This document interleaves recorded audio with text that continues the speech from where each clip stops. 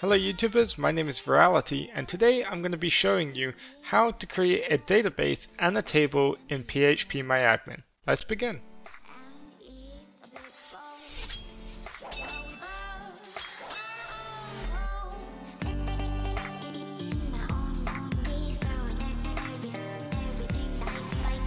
This tutorial will be showing you how to use PHP with your Lightsail LAMP server. If you haven't set up a Lightsail LAMP server, I would strongly recommend you watching my other videos. Okay, so what we're going to do is we're going to type PuTTY in our Windows search bar. We're going to open up our PuTTY. And as you'll see, we have our static IP connection that we made in one of my other videos. You can find the video in the top right corner right now. We're going to hit open. And as you can see, it will have our SSH client appear right here. Once we have the SSH client up, we're going to go to our browser. We're going to come up to the search bar and we're going to type in our local host. To do that, it's 127.0.0.1. We use port 8888 and then we do slash php my admin slash and we click that and you should see this page right here. We're going to type in the password. Now the password is going to be that file that we saved in one of our other videos. I have it under YouTube series. It's going to be blurred out here so you can't see my password. I copy and the paste and I'm going to hit go. And you should come up with this page here. Now, to create a new database in PHPMyAdmin, you're going to go to new and you're going to create a database. So we can just do test. As you can see I already have test there so I'm going to actually do test 2 and typically you do lowercase and we're going to hit create.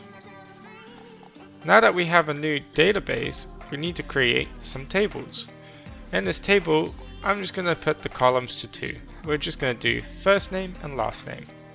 And so we can do for the table name person. And this one I believe does get a capital. From here we're going to do first name, so I'm going to do f underscore name for first name.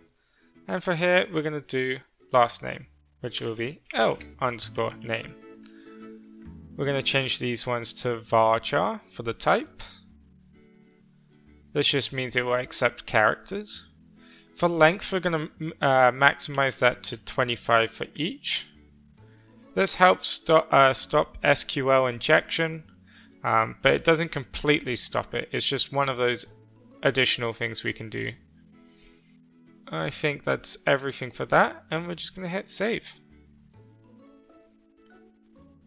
Okay, so now you can see in test 2 we have table person. If we want to make a data entry, we can go to insert and we can type in a name. So I'll do Freddy and I'll just type last name and we can hit go. You'll see it says one row inserted. The beauty of PHPMyAdmin is it also shows us the SQL code. If we go back up to structure, you'll see that nothing has changed. But if we go to browse, you'll see that we have a data entry, Freddy last name.